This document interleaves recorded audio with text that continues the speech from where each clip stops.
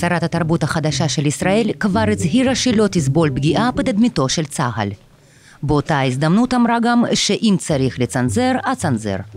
עד שמירי רגב תממש את ההבטחות שלה, כדאי להספיק לצפות בהצגה הר, שמוצגת בתיאטרון נוצר בבת ים. דמותו של אריאל שרון שימשה כהשראה לדמותו של מנהיג במחזה. אנחנו חברה שלפחות בהגדרה חי על אה, חרבנו, בין אם זאת המציאות ובין אם זאת המציאות שמוכרים לנו. אה, וכל עוד שזה המצב, אה, בין אם הוא אמיתי או אשלייתי, יש צורך כנראה בבני אדם במישהו שיוביל אותם, במישהו שללכת אחריו, שייקח את האחריות עליו. קשה לדמיין שלפני חמש שנים עולם התיאטרון שימש כמחסן חירום לציוד צבאי. אומני הלהקה שיפצו את המקום במו ידיהם.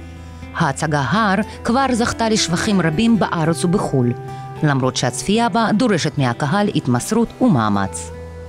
אם אתה עברת חוויה חזקה ומסעירה, ושגורמת לך גם לחשוב וגם להסתכל בראי, וגם אולי לחשוב מחדש על העמדות שלך ועל הזהות שלך, זאת חוויה שהיא חוויה אה, חיובית. ככה שאני לא חושבת שההצגה היא, לפי דעתי, היא לא נוחה. אלא אם למישהו לא נוח לחשוב.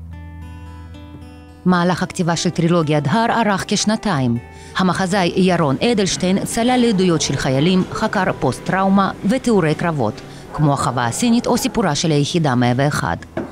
מה שהותיר רושם עמוק על ירון לדבריו, הוא המחקר של פרופסור דייב גרוסמן, קולונל לשעבר בצבא האמריקאי, שחקר פסיכולוגיות ההרג בזמן לחימה. להפתעתו גילה ירון שהאינסטינקט הבסיסי של האדם הוא דווקא לא להרוג. בסיטואציות של קרבות פנים מול פנים, אחוז עצום מהאנשים ירו מעל הראש. הם ידעו שהם צריכים להרוג, אבל פשוט לא יכלו בקרב לעשות את זה. ואז שינו את השיטות הכשרה, הפכו את זה קצת כמו לאיזה משחק, מה שאפשר, כמו במשחק, להתחיל לשחק, ובעצם אבל באופן אמיתי מאוד להרוג את האנשים מולך. אז אחרי זה זה חוזר אליך בפוסט-טראומה, כי אתה חטאת פה למשהו מאוד מאוד עמוק בהוויה האנושית. בישראל לא צריך להעמיק בחקר היסטורי כדי לפגוש במציאות של מלחמה. ההכנות והחזרות להצגה נמשכו כארבע שנים, אבל בקיץ האחרון הגבול שבין המציאות לתיאטרון נמחק. עשינו חזרות, שמענו את הפיצוצים, והתחבאנו במקום המחבוא, בחיי, נשבעת לך פה מתחת לברזל הזה.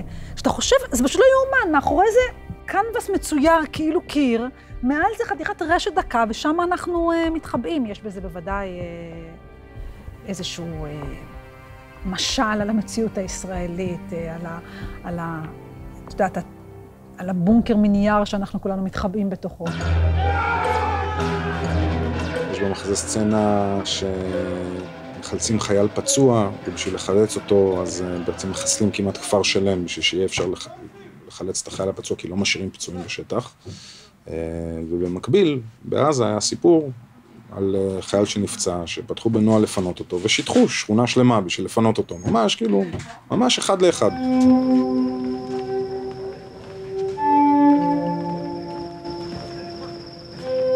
השחקנים מגדירים את עצמם כפעילים חברתיים, שיצירתם נובעת מתוך שיח חי עם הקהילה בה הם מתקיימים. בפאנל מנהיגות ונמות שמתקיים לפני ההצגה, מציפים שאלות כמו מיהו המנהיג האמיתי, האם ישנו כזה בחברה הישראלית, ומה המחיר שאנחנו משלמים על ההליכה העיוורת אחרי המנהיגים שלנו. פיתחנו שתי צורות של מנהיגות, מנהיגות צבאית ומנהיגות כוחנית. יש פה הערצה של אנשים חזקים, של אנשים שמדברים על פחד ושל אנשים שמבססים את כל המנהיגות שלהם על שנאת האחר. אין לי בשורות. אני לא איש בשורות, אני מאוד מאוד מחפש את האנשים האלה. שיקרינו, קודם כל שיהיה להם ויז'ן, שתהיה להם, שתהיה להם תפיסת עולם, שהם ייקחו אותי לאנשהו. קח אותי עשרים שנה קדימה, אדוני ראש הממשלה, ותגיד לי איך אתה רוצה שהמדינה הזאת תהיה. היום אין דיאלוג עם המנהיג, חוץ ממערכת בחירות, שהיא שטחית, שהיא רדודה, שהיא, אה, שהיא מאוד לא... היא זולה אפילו. כמו שאמר אפלטון, תיאטרוקרטיה, לא דמוקרטיה, אנשים שמציגים טוב. במדינה שתקציב התרבות בה מהווה רק 0.17 עשיריות האחוז מכלל התקציב, גם באומנות מנהלים מלחמת הישרדות יומיומית. בתיאטרון נוצר, שהיום הוא להקת פרינץ' העירונית היחידה בארץ, לא מתיימרים לשנות את כל המציאות, אבל מקווים להתחיל לחולל השפעה כאפקט הפרפר. אתה הרי תמיד אומר שאנחנו לא רוצחים, תמיד אתה אומר ש... אם אתה לא תירה ומי שיגיע מהשביל הזה לכיוון שלנו, אתה תהרוג אותנו. הבנת אותי? החיים שלנו תלויים בך.